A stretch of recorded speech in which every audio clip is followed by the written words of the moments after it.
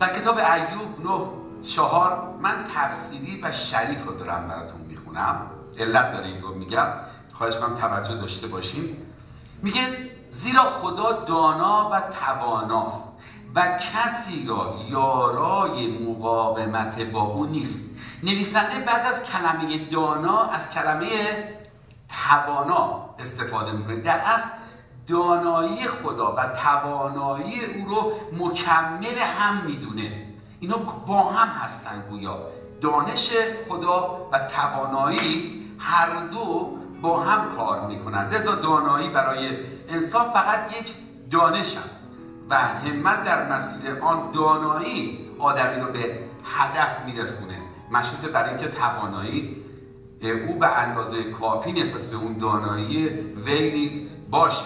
برای مثال ما می‌دانیم آتش میسوزاند. اما زمانی که در آن قرار می‌گیریم ما هرگز نمی‌تونیم بر او غالب بشیم. ما خوب می‌دونیم که شیرهای گرسنه و درنده اگر ما رو یک جا ببینن و ما مجهز نباشیم به ابزار دفاعی اونها به راحتی ما رو می‌تونن بکشن. دانش من هست اما دانش من کمک من نمی‌کنه که دلیلی بشه که شیر باعث کشتن من نشه. ما به خوبی می‌دونیم که جاذبه زمین اجازه نمیده زمانی که من روی آب راه میرم فرو نرم. ولی همین دانش به من کمک نخواهد کرد که مانع فرو رفتن من بشه. حالا برای درک بیشتر می‌خوام دوباره همین کتاب ایوب نه چهار رو از کتاب قدیمی می‌خوام براتون بخونم. اعلام می‌کنه او یعنی خدا.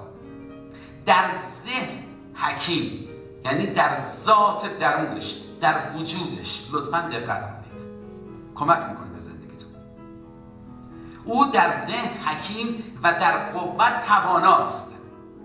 یعنی آنچه را که به عنوان حکمت هست پشتبانه این حکمت یک توانایی است یک قدرتی هست که دلیلی خواهد شد که آنچه که ما می‌خوایم بهش برسیم. او در ذهن حکیم و در قوت تواناست. کیست؟ با او مقاومت کرده و کامیاب شده باشد. هیچ کس نمی‌تونه در برابر حکمت خدا بیسته و پیروزی داشته باشه. در اصل اگر برعکسش کنیم یعنی این گونه میشه. هر کسی با حکمت خدا توی زندگیش عمل بکنه مطمئن باشه کامیاب میشه. کامیاب یعنی چی؟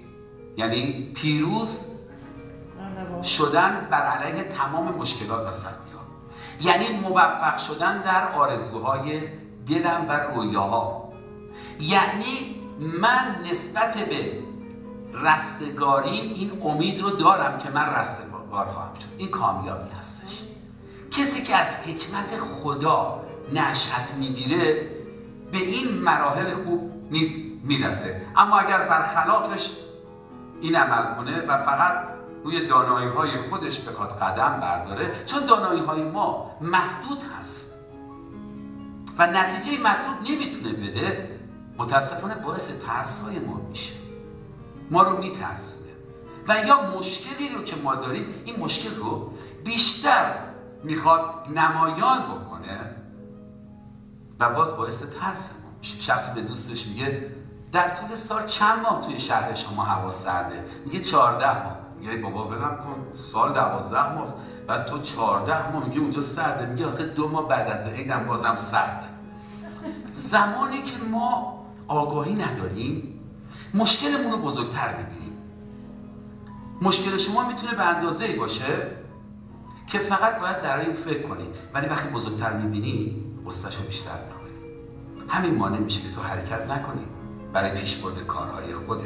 و یا برعکس زمانی که ما آگاه نیستیم اون حکمت رو نداریم. فقط بسنده می‌کنیم به دانش خودمون. اون جایی هستش که من خوشخیال می‌تونم باشم. یه شانس هستم. میگم میرم جلو ببینم میشه. شاید قسمت من خوب باشه حالا.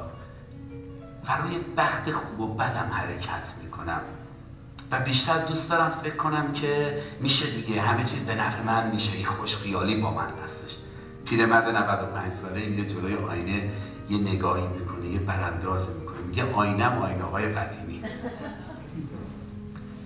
در این گونه ما متاسفانه آسیب خواهیم خورد. اگر فقط روی دانش و آگاهی خودمون باشیم.